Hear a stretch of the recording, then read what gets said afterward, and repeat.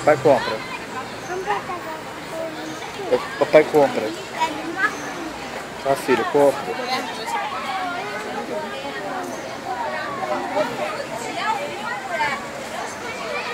Ajuda o papai no trabalho, vem. Ajuda o trabalho do papai, vem. Então, como estamos forma de evidencia a nossa. Então, necessitados, usar nossas dores, nós queremos mostrar união.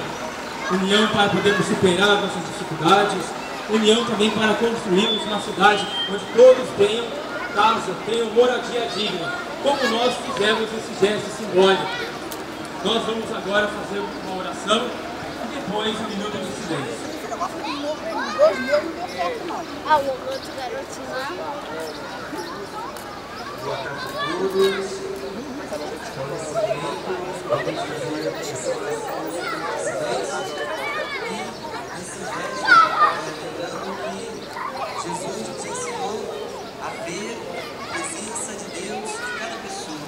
Cada pessoa.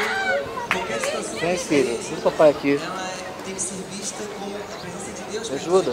Deus está presente em cada um de nós, em cada irmão que está ao nosso lado.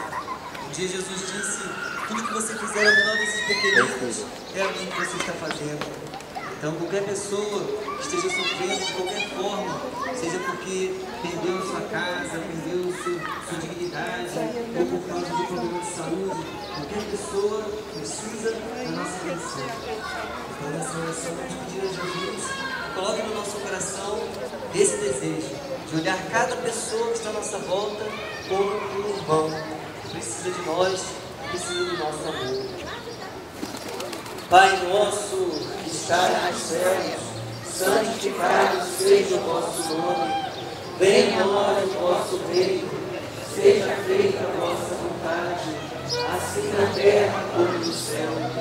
O pão nosso de cada dia nos dai hoje, perdoai as nossas ofensas, assim como nós perdoamos a quem nos tem ofendido. Não deixeis cair